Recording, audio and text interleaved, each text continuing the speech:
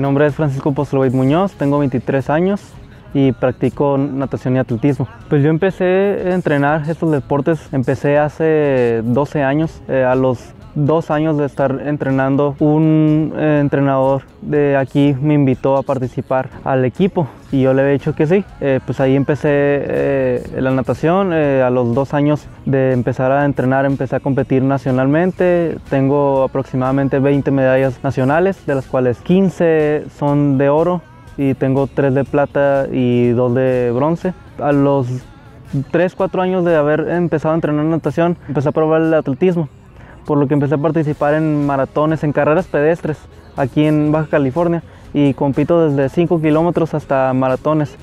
Lo máximo que he recorrido en mi silla de ruedas de atletismo son 200 kilómetros, que fue la carretera eh, de aquí en Mexicali a San Felipe.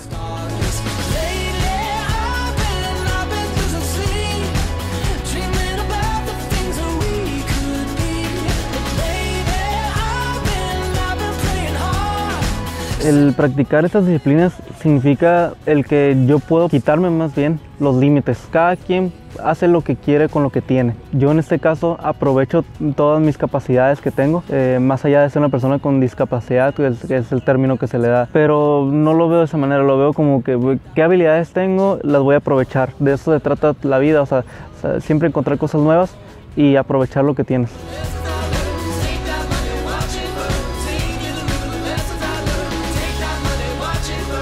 Mi nombre es Francisco Postreveit Muñoz y soy cachanilla.